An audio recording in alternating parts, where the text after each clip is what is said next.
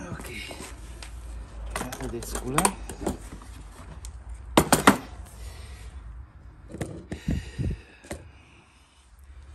Aici sunt cele patru chei. Um, Perile de rezervă.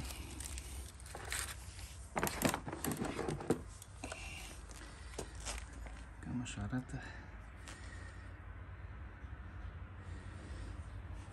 しいそばがんピザ。